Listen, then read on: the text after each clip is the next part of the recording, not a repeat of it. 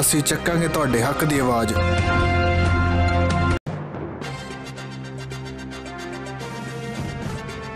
ਪੰਜਾਬ ਦੇ ਵਿੱਚ ਕੈਪਟਨ ਅਮਰਿੰਦਰ ਸਿੰਘ ਨੇ ਸਰਕਾਰ ਬਣਾਉਣ ਤੋਂ ਪਹਿਲਾਂ ਵੱਡੇ ਵੱਡੇ ਵਾਅਦੇ ਲੋਕਾਂ ਦੇ ਨਾਲ ਕੀਤੇ ਸਨ ਅਤੇ ਪੰਜਾਬ ਦੇ ਲੋਕਾਂ ਨੂੰ ਸਮਾਰਟਫੋਨ ਦੇਣ ਦੇ ਵਾਅਦੇ ਵੀ ਕੀਤੇ।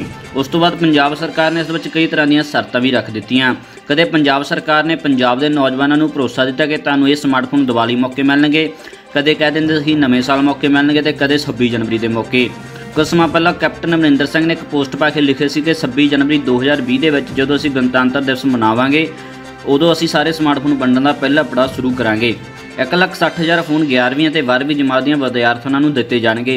ਸਾਡੀ ਸਰਕਾਰ ਨੂੰ ਪੂਰਾ ਵਿਸ਼ਵਾਸ ਹੈ ਕਿ ਇਹ ਸਮਾਰਟਫੋਨ ਇਹਨਾਂ ਦੀ ਪੜ੍ਹਾਈ ਦੇ ਵਿੱਚ ਮਦਦਗਾਰ ਸਾਬਤ ਹੋਣਗੇ ਤੇ ਇਹਨਾਂ ਨੂੰ ਤਕਨੀਕੀ ਸਾਂਝੀਦਾਰ ਬਣਾਉਣਗੇ।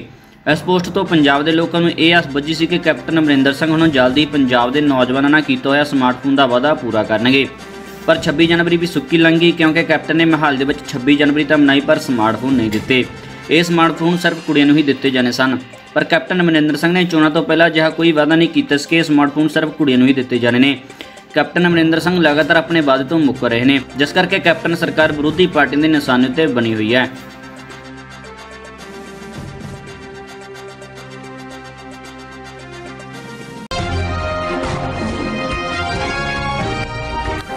ਅਸੀਂ ਚੱਕਾਂਗੇ ਤੁਹਾਡੇ ਹੱਕ ਦੀ ਆਵਾਜ਼।